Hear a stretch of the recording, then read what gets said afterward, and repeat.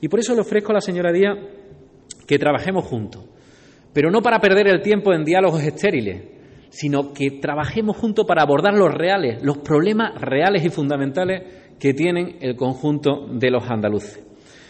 Reformas que son necesarias, reformas que son urgentes, que no tienen más dilación. Por eso le pido que negociemos los presupuestos de la Junta de Andalucía, el Partido Socialista Obrero Español de Andalucía y el Partido Popular de Andalucía bajo las siguientes premisas. La primera premisa, reducir la presión fiscal que soportamos los andaluces. No podemos, no podemos y no debemos, y no lo va a permitir este grupo parlamentario, que los andaluces seamos los españoles que más impuestos pagamos.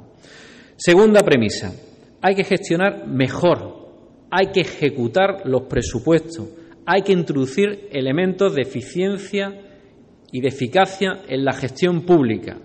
Esa es una premisa absolutamente fundamental para estos presupuestos. Tercera premisa.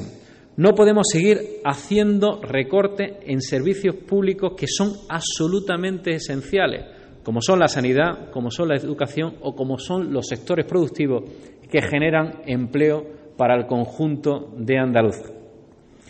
La cuarta premisa. Hay que revisar los gastos superfluos.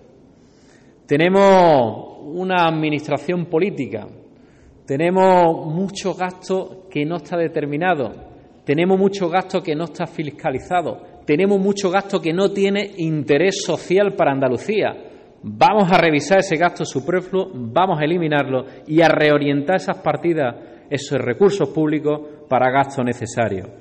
Y por último, algo que me parece fundamental, absolutamente fundamental, que es recuperar los miles de millones miles de millones defraudados en nuestra tierra a la Administración de la Junta de Andalucía por la incapacidad del Gobierno andaluz para fiscalizar y para control su propio gasto público.